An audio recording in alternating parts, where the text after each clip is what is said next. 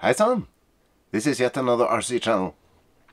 And today I'll show you a bit of the progress on the body for the excavator I'm working on. But first of all, check out my new hat. It's from Kobtsev RC, so if you're into cinematic scale crawling, you sure should check him out. I'll link to his channel below the video. So, the main plate, you've already seen it. There was a question about the dimensions.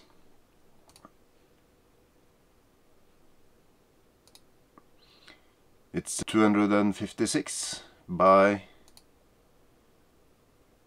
369 millimeters. And then I'll show you, I've sort of designed myself into a corner, so I'm not really sure what to do. I might release the parts as is.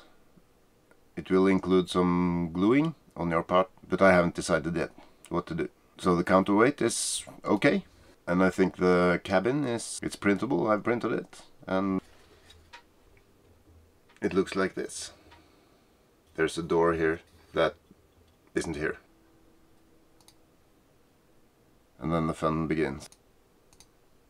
The side is flat. And it's it screws down to the plate. These are, uh, it's not interlocking, but auto holds stuff in place. And it's the same on the left.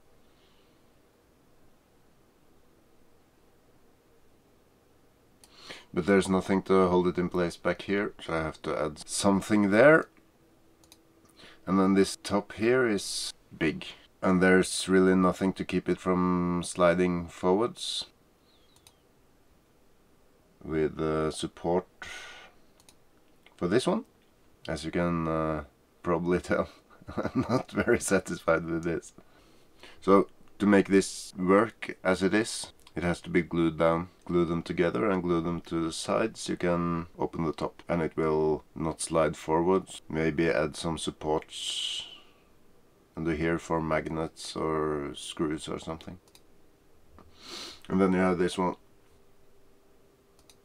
and this plate here but it's only supported on the side there's so much room in here that if everything is glued down and the only thing you can open is the top you still can access everything you can easily fit six ESCs and the battery just below this I promise I'll sort this out and uh, give you the files. And then you will have everything you need to build this big, ugly, but quite strong radio-controlled excavator.